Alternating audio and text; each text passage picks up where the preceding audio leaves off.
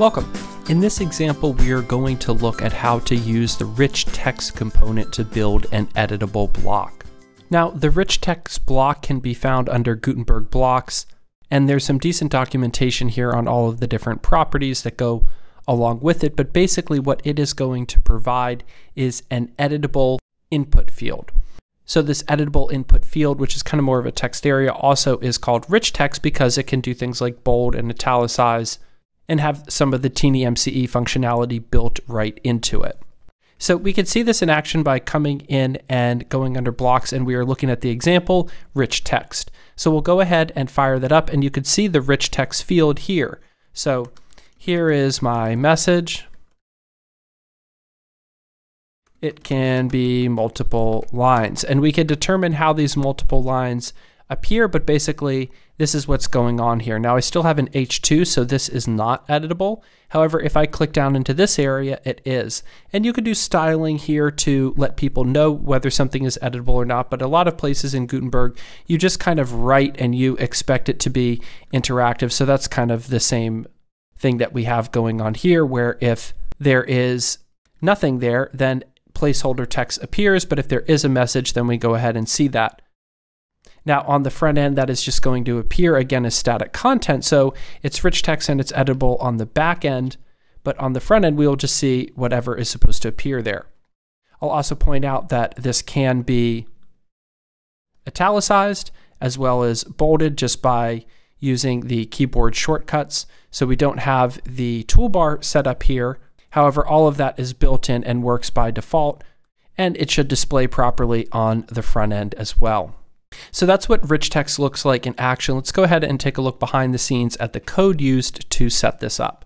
So coming into our second example, rich text, we're going to come into our index file. We can see at the top here we've got icon and our style.css. So our icon for this one is this little cursor here, and this is just an SVG that we have inside of our icon.js file that we have ported over. And this is, again, going to be a pretty common thing. If you want custom icons, you could either save them one by one in different components so that they're easy to access, or you could give them different names, have an icon library, or have a one master icon object that has all of them stored within that. So however you decide to set up your icons, that's what we're doing here at the top. Pull in the internationalization and register block type. Then we're also going to pull in rich text from WP blocks. Now remember when I said up here that rich text appears inside of blocks within the Gutenberg source code? And that is important to know because that is how we're going to reference it and pull it in. And how did we know to reference it and pull it in? Well, that's something you just kind of have to know from looking at Gutenberg that rich text is one of these common, really helpful fields for editing text. So we pull that into our code. We set up all of the basic stuff as we would expect, so I'm not really going to go over any of that.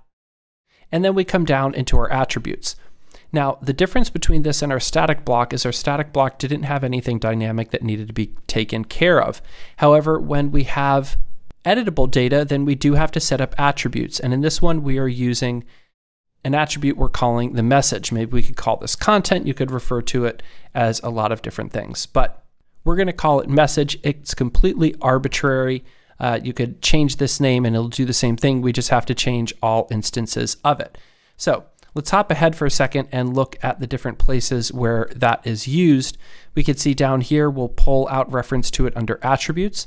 When we're fed the props, then all of these attributes we have are set up and available as well.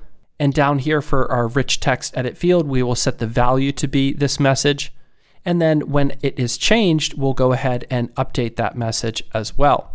So we're going to be using this message a few times. Generally, when we have an attribute, we'll want to set it as a default value somewhere, and we'll also want to do some sort of updating if the person has access to edit that, which is likely. Now, the source type children, again, that just means that we have some sort of editable content there, usually a React element, and definitely whenever we're using rich text, which is what we're looking at here, then we want to set up type array and source children. In fact, this source children was really made in part to work with something like rich text where you have different elements within inside it.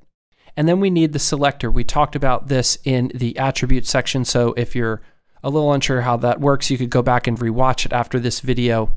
Again, it may take a few times before all of that makes total sense, but the selector is going to match a class name that we put in the save component wrapped around where that attribute will appear. So when it's finally saved and it needs to open back up into the editor, it will say, okay, find message body, pull out everything that's inside of that and assign that to message. And then we could use that wherever we want in the edit area, which is going to be in this rich text area. Okay, so that is our attributes. We come down into our edit field. Notice how we're deconstructing props. First, we pull out anything inside of attributes. So we have props.attributes.message, and we just want to call it message. We also have props.classname and props.setAttributes. Now, the class name we said was the name of this that was created dynamically based off of this. And then set attributes is a built-in function to our WordPress React API that will allow us to update the value of attributes in memory. So every time there is a change to this rich edit field, it will go ahead and update itself. Now, this whole thing we could pull out like this, and this is what you'll see in a lot of examples later.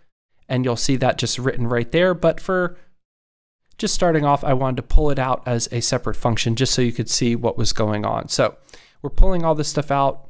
We're writing an event handler for when this changes. The H2 we don't really have to worry about. Now we can finally get into rich text. Now, when we're using these built-in WordPress components, the first thing we want to do is figure out what's the name of it. In this case, it's rich text, and then we want to figure out the properties. Now, I show you the documentation that lists out all of the different properties that you could pass into it. However, these ones here are going to be some of your most basic. Now, tag name and multi-line. Tag name is going to be the actual wrapper that is appearing as rich text. So we could see rich text here, but when it's actually in the editor, we are going to replace rich text with a div. So this entire rich text edit area where will appear inside of a div. And then when they hit enter, because you could break it down into multiple lines, each one of those lines will be a paragraph. So let me show you what I mean. I'm going to go ahead and open this up and come down here. So we've got our div with blocks rich text, and then everything inside of that is going to be our rich text editor. And when we have multiple lines here, notice that each one of them is their own paragraph. Okay, so that's what it's saying, that it's going to take our rich text component, convert it into a div, and then every time you hit enter, it's going to be a paragraph. Now, this is probably the most basic setup you'd want, but what happens if we wanted to change this? So what I could do is instead of tagging name div, I'm going to change this to an li and a ul. So this is going to convert it from a div with paragraphs to an unordered list with list items. So now if I reload my page and I check this out and I go ahead and inspect it, we could see that we have our list item and here is another and another. And notice that each time we hit enter now, we're creating more list items, which is just what we defined. So this could be really helpful. Like I said, a lot of times you're probably just going to have paragraph tags, but it may be that you want to do other things as well, and you can do that. So just remember, rich text does not have to just be a text area. It could be different types of things as well and that is how you would configure it. Now, placeholders should be pretty straightforward, and you definitely want to have placeholders because it's not always super clear where you could edit except edit anywhere within Gutenberg. So you want to have placeholders letting folks know what's there and make sure that they are translatable. Now, on change, this is going to be a little bit of a special function. It won't update every single instance that a key is pressed or released, but it will do it pretty often and is going to be the default way that we want to update that attribute. So what happens here is, let's just stop editing for a moment. This is the current value of the attribute. I click out of the field, this is what it is. I click back in here and I enter another line, that on change has already fired. So in memory, every single time I make an edit here, it is going to remember what the new value is for message. And then when I save, because I'm referring to message here as part of what's saved, then it will also get saved into the database that way. So the on change is just going to be tra keeping track of making sure that message is kept up to date. And both React and WordPress help us out quite a lot in simplifying this. And like I said, this code could be put down here. So we we'll likely see it like this just to save on space, but in this case, uh, just as an example, we're going to break it out into its own function. And finally, value. If you've done any work with forms and presetting form values, then you know that you want to pull in that default message value if you have it. And if not, if this is empty, because you're just creating a new block, then the placeholder text will show. But if there is a value, then that will go ahead and display there. So this is how you use rich text. Like I said, you're probably going to be using this quite a lot, although we will look at some other form fields if you need something a little bit different. But if you need something that has bold and italics available, that has multiple line editings and kind of a super lightweight WYSIWYG fashion, then rich text is definitely what you're looking for. And I think you'll use it quite often. So that's why we're putting it up front and early here.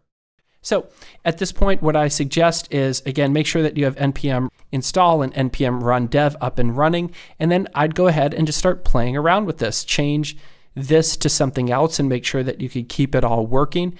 Maybe instead of just one rich text thing, you have two of them and you set up two different um, attributes to work with two different types of properties, right? You'd have to obviously change these names, but that could be something else you play with. But either way, go ahead and jump into the code, try to break stuff, try to get it doing something slightly different because this is how you're going to get more comfortable with everything up and running. And once you're comfortable with that, we're going to shift gears a little bit from looking at editable data and start looking at some of the toolbars and sidebars that are available for us to work with inside of Gutenberg.